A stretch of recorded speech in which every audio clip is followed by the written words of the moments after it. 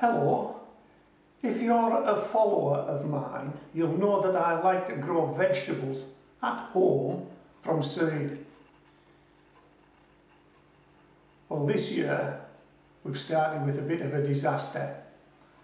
I popped up a video some weeks ago where I showed you some seeds that had germinated but looked as though they were suffering.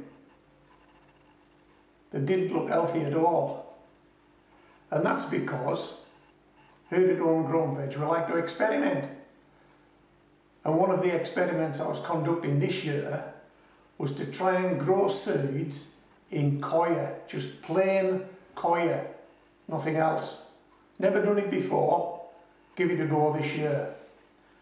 I'm going to cut you to a very short clip of video that I posted a number of weeks back.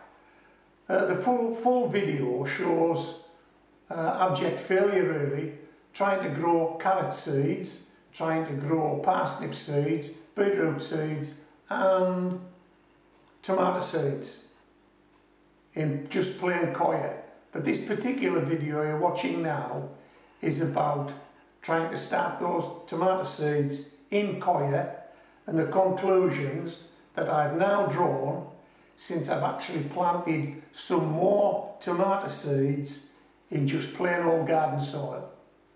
Check this little clip of video out and then come back to me. I'll show you tomatoes that have been started in plain old garden soil.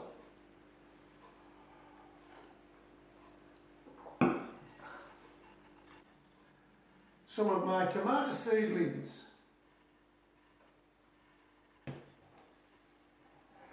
Wow! Look at those. Those have been in about six week, six to eight week.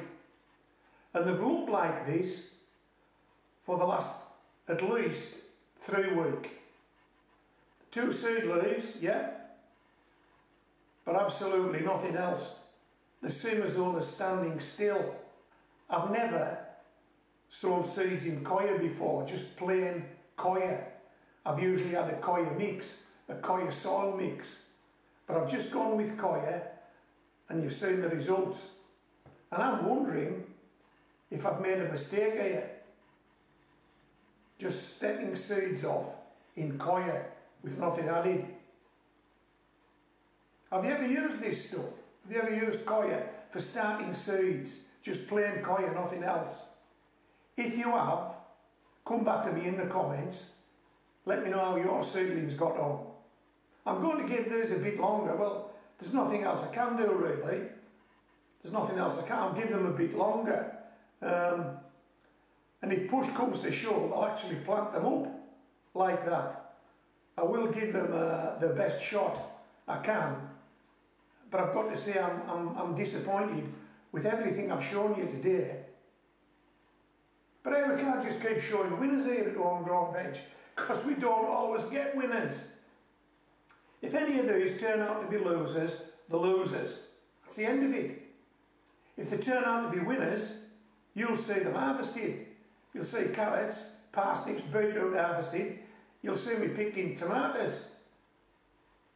But if they turn out to be duds, if they turn out to be losers, I'll show you that as well. If nothing else, we have an honest channel. Um, we'll get some winners across the line, but we have some losers just like everybody else. Okay, so these uh, tomato plants were started by me in garden soil in exactly the same way as I started those tomato plants in coir and look at the difference. Look at the difference. Now one thing I did worry about when I put the first video up was that that seed for those tomato plants that came from packets that had been opened previous year and I started to actually doubt the seed and the only way I was going to prove this was to plant some more of those seeds but not in coir, in something else.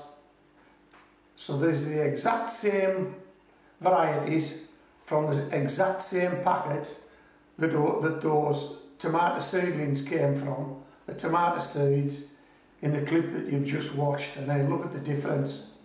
I mean, these are the two seed leaves, the big leaves, and these are the true leaves, the true tomato leaves. Come on. This is a variety called Roma, by the way, just out of interest. This is a variety called Moneymaker, and this is a variety called Heinz 1350. Now I've got an admission. I've got an admission to make. I've already purchased or been given the replacements for those seedlings that didn't make it.